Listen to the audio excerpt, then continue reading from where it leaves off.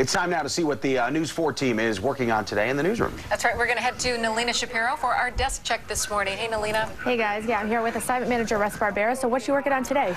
Well, you know, Nalina, a lot's going on here in Western New York, but I can't take my mind off of what's happening in Vancouver, being what a sports town we have here. And, you know, while Buffalo can relate to uh, what Vancouver fans are going through right now, which is they've never won a Stanley Cup, we can't relate to what happened out downtown afterward. And, um, I mean, with the looting and the damage and the personal injuries and stuff like that. There's a lot of information that'll be coming out of Vancouver today, and we will be monitoring it and putting it together because, frankly, even though it's the other side of the continent, it's a, there's a lot of interest uh, into what happened last night.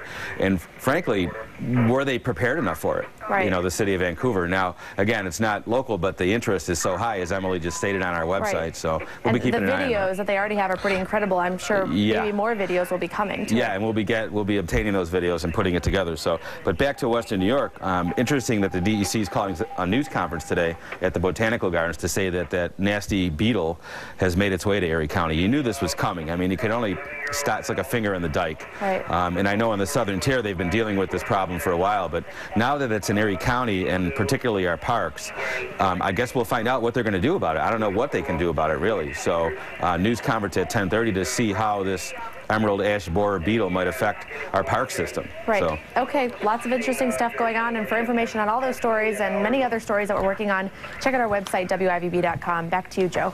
All right. Thanks, Nalina. Well,